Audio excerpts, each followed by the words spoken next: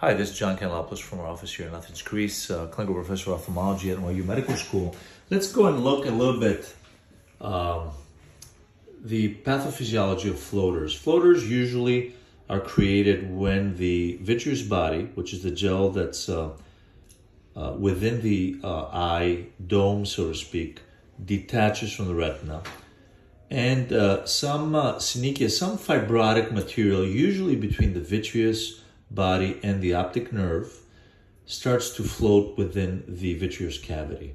And as it moves with our eye movements, these small opacities uh, create shadows from the light that enters the eye, and we actually see these shadows dancing around, especially if these vitreous opacities are within our visual axis, are between the pupillary aperture and our macula which is the center of our vision.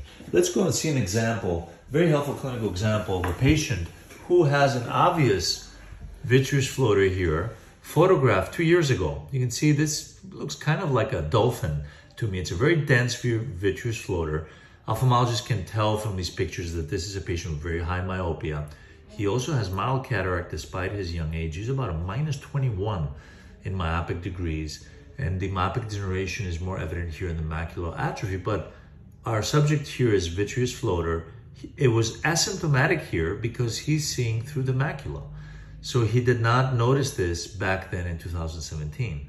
Last few months, he comes in complaining that he starts seeing this little fly, especially in white background, that he actually reaches out to grab sometimes. And this is the same floater we're talking about the exact same floater that we identified back here several years ago that has moved now a little bit more towards the macula.